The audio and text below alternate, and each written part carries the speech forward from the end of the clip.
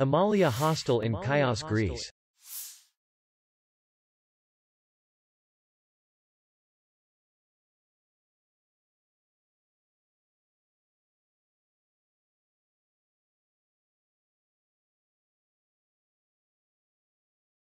And distance to the airport is 3 kilometers.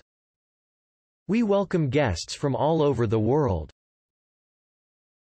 The hotel has comfortable rooms.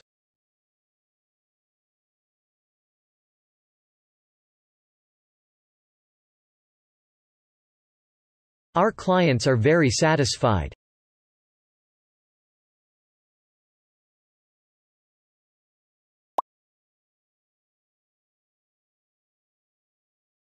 We will be glad to see you. For more information, click on the link below the video.